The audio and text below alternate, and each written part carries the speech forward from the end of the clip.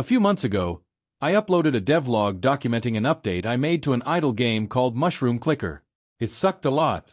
Today I'll explain all the mistakes I made while developing this game and how to fix them.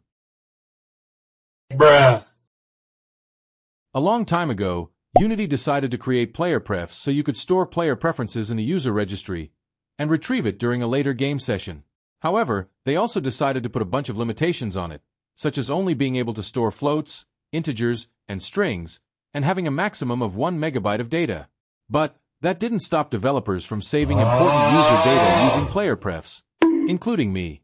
As a result, player scores would randomly delete themselves, and saving arrays and booleans became a hassle. Bruh. To fix this issue, all that has to be done is to change which way data is stored. For example, instead of storing data using player prefs, you could create a TXT file and store it as a string of JSON. To do this, first, make sure you are using system.io so that C Sharp can read and write files. Next, using the JSON utility, you can convert a class to and from JSON, like so. Then, simply store it in a file, and retrieve it the next game session. When making this game, I made the mistake of using floats to keep track of player scores. At a first glance, this doesn't seem like a huge mistake, but let me explain. Floating point data types can store numbers at most around 340 undecillion, and when making idle games, player scores usually go way past that number. Take Cookie Clicker, for example. Player scores can easily surpass 340 undecillion. So, many players reported their scores being infinity or not a number.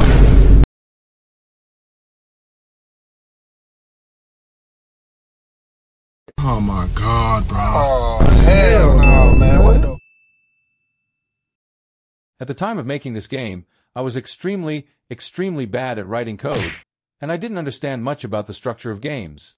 So, after this game was finished, even though it didn't seem that bad on the surface, the inside was all moldy. You can think of a game as a building. A good game is a tall building and requires a solid foundation to build off of. However, in this game it had no foundation. Let me show you what I mean. If I want to update this game by adding an upgrade, here are the steps required. Step 1. Add a game object and change the display name and description. Step 2. Add three variables that hold those values. Step 3. Add three new methods that return the correct information about that upgrade. Step 4. Self-implode. Step 5. Reincarnate as a polecat and clean up the rotting corpse on the ground. Step 6. Save and build the project. Step 7. Faint of exhaustion. C. Easy.